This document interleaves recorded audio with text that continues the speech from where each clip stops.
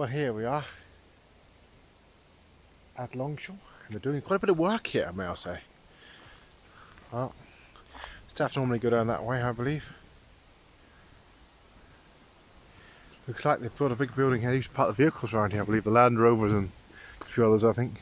Um, they've built a new building here, looks like in keeping with the current buildings there. Not sure what it is at the moment, but I do know found the front about um, new restaurant, new toilets. They've got a new woodland walk here. A lot has been going on since 2015, and more works in the pipelines. You can see work going on here as I speak as well.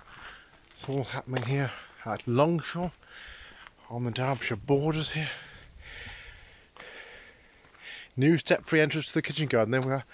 Please bear with us. Well, our telephone number there, all online probably. Entrance to upstairs offices, making more room downstairs for future cafe expansion. Please bear with us while we work on these improvements. There we are. nationaltrust.org.uk Four stroke longshaw. Well, there we are. That's one of the plans in place. Cafe expansion. So I think they've got an office, here, the office in the back of the cafe there. So cafe, restaurant area, shop there, which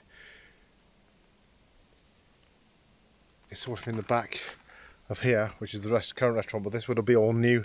Looks like the plan's in place for no extension, but the only problem here is, it's just down there, there's quite a few trees in the way, so hopefully we won't have to, being a National Trust, won't have to take too many trees out, but meanwhile the work goes on here, as you can see.